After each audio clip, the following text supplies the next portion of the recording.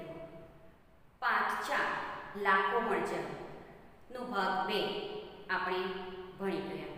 બરાબર? આશા રાખું છું કે આ ભાગ બેમાં તમને સમજણ પડી જ હશે. બરાબર? પડી ગઈ સમજણ? સરસ.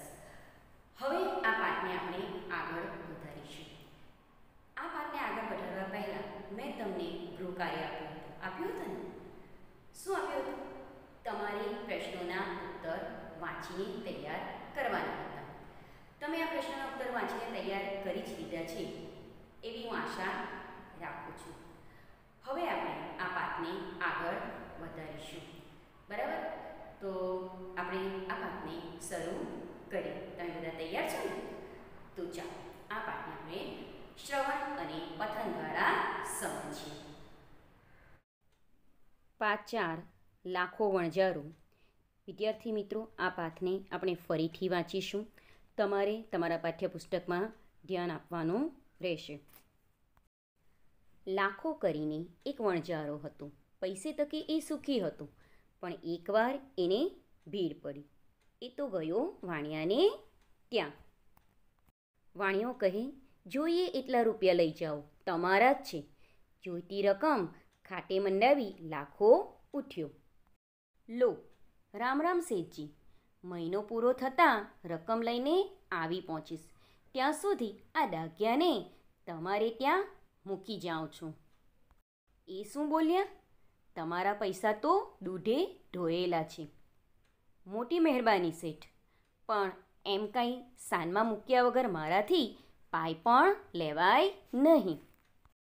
લાખાએ દાગ્યાને ડચકારીને શેઠની પાસે રહેવા હાથને આંખથી ઇશારો કર્યો. પછી એણે તરત દાગ્યા ઉપરથી આંખ વાળી લીધી અને એ તો રસ્તે પડ્યો. ડાઘ્યો તો લાખાની પીઠ દેખાય, ત્યાં સુધી તેના તરફ જોઈ જ રહ્યો. પછી તો એવું બન્યું કે શેઠને ઘેર એક રાત્રે ખાતર પડ્યું. હજારોની ચોરી થઈ. ચારે કોર તપાસ ચાલી. ડગ્યો બધાની જોડે જ હતો. થોડે આગળ જાય અને પાછો આવે. પણ એના તરફ કોઈનું ધ્યાન જાય તો ને? વિદ્યાર્થી મિત્રો, અહીંયા સુધી આપણે પાઠ સમજ્યા હતા. હવે આપણે આગળ વધીએ. વિદ્યાર્થી મિત્રો, કૂતરો તો આગળ અને પાછળ ફરે છે, પણ એના તરફ કોઈનું ધ્યાન જતું નથી. આગળ પગેડું ન મળ્યું એટલે કંટાળીને સૌ પાછા વળતા હતા. ત્યાં ડાઘિયાએ વાણિયાનું ધોત્યું મોઢામાં પકડીને ખેંચવા માંડ્યું.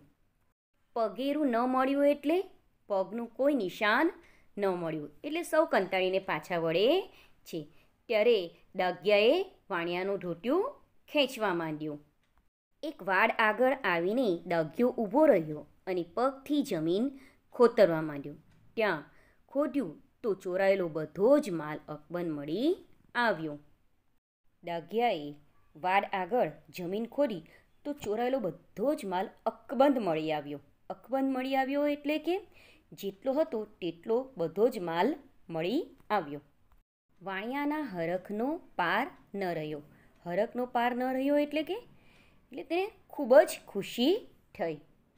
એને થયું કે આ દાગ્યાને હવે વહેલો છૂટો કરીને એના ધણી ભેગો કરી દેવો જોઈએ.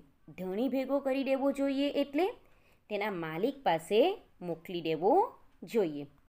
લાખાને જે પૈસા ધીર્યા છે, એથી અનેક ગણો દાગ્યાએ મને બચાવી આપ્યું છે. અનેક ગણો એટલે જેટલું આપ્યું છે એના કરતાં ઘણું બધું. વાણિયાએ આ બધી વાત ચિઠ્ઠીમાં લખી, તે કૂતરાની કોટે બાંધી અને તેને વિદાય કર્યો.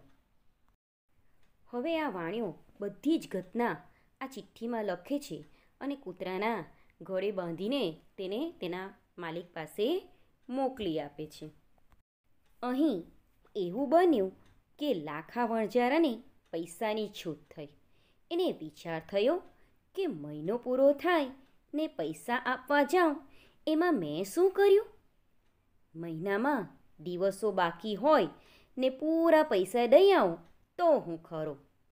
હવે લાખા પાસે પૈસા આવી ગયા છે, એટલે તેણે વિચાર્યું કે મહિનો પૂરો થાય તે પહેલાં જ હું વાણિયાને પૈસા આપી દઉં. અડધે રસ્તે આવ્યો. ત્યાં સામેથી એને કંઈક કૂતરા જેવું આવતું દેખાયું. ઢરીને જુએ છે. તો એનો વાહલો ડાઘ્યો.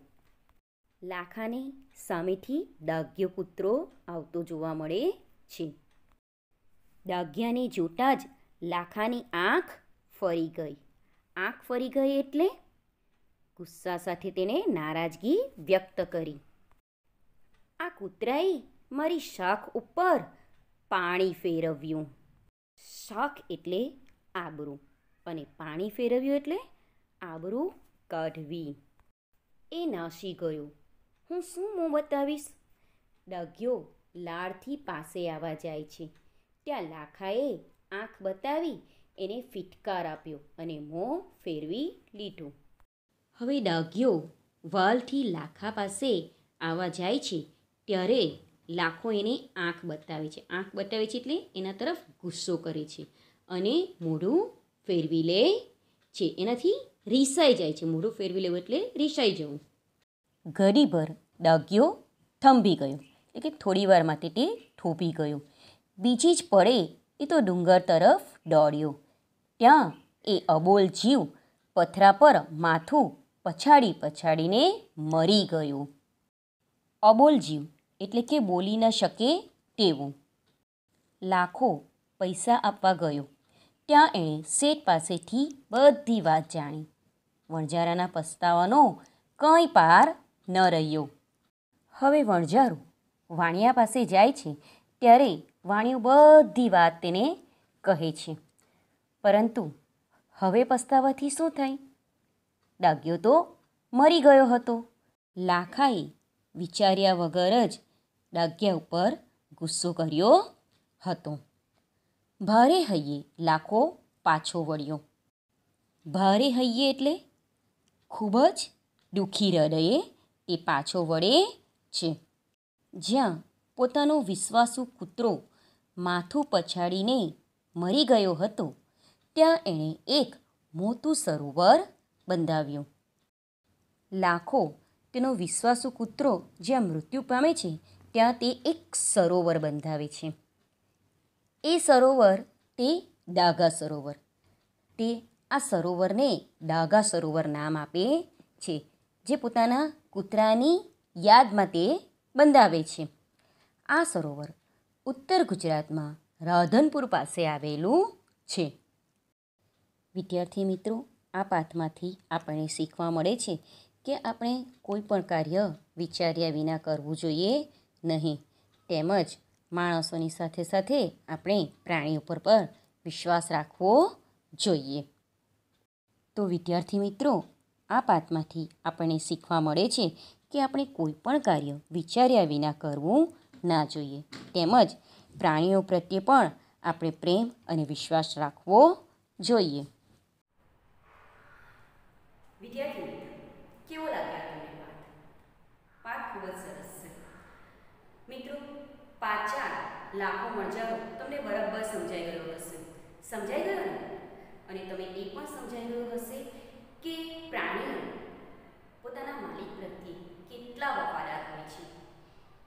સમજાઈ ગયું બીજું એ કે આપણે કોઈ પણ કાર્ય વિચાર્યા વિના કરવું જોઈએ નહીં. જો લાખાએ એકવાર વિચાર્યું હોત તો આજે હું લાગ્યો જીવતો હોત. પણ લાખાએ વિચાર્યા વગર કાર્ય કર્યું. જેથી તેને પ્રસ્તાવ આવ્યો. બરાબર હવે વિદ્યાર્થી મિત્રો, તમારે આ પાઠને બેથી ત્રણ વાર વાંચવાનું છે. તેમજ તેની શબ્દ સમજૂતી પણ વાંચવાની છે અને એમાં આપેલા પ્રશ્નોને તૈયાર કરવાના રહેશે. બરાબર તો હવે હું રજા લઉં છું. આવજો.